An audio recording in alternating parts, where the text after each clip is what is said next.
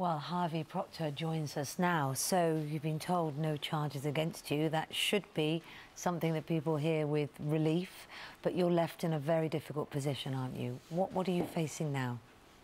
Well, this has caused me to lose my job mm. and my house, my future and my present. Uh, so obviously I feel upset about that. Mm -hmm. I have to now seek to rebuild my life um, and that will be difficult. I started to rebuild my life in 1987. Mm -hmm. Took 28 years, mm -hmm. and in 15 hours, the police smashed that down. Um, Mr. Proctor, I think you know one of the things that will come out of your story and the Operation Midland fiasco in its entirety is the whole argument about anonymity. We have to obviously be careful with certain things that we say, but uh, those accusations are made against you and others. They have since been dropped. I know that you had property taken from you 14 months ago, which has never been returned. Um, many people watching this would say, you've been brought out, you've done this, you've had that said.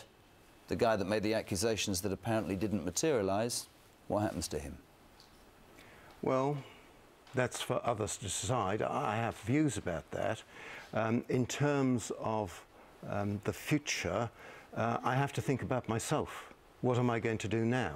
How am I going to do, uh, uh, um, how am I going to resurrect the life that I had?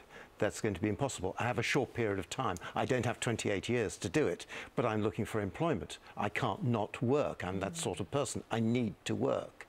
Uh, so I have to try to put this beside me. I've written a book, Credible and True, published today. That's what I don't understand.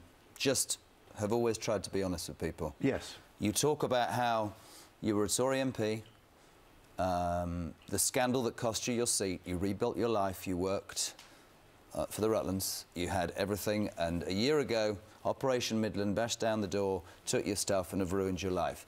And yet you're sat on national television, and you'll presumably do other press to promote a book which brings it back into the public eye. The question would be, why did you do that when you didn't want this to be so public? It's cathartic uh, I spent, I could not have existed, I could not have survived this last six months with the pressures every day mm. from you, the media, and others, thinking every day, is it a call from my solicitor mm. bringing me back to the country Your to face of the charges? argument, the cathartic so putting this, it that side? This is the truth. Mm. I have written down how it's affected me. What actually happened is in the book. Okay.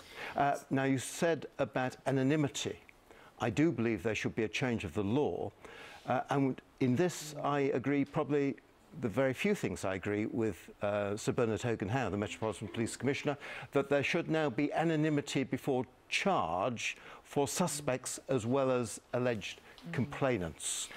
So Operation Midland's been closed down. The police have said very clearly, you know, you've wanted an apology, but they've said we're not going to apologise.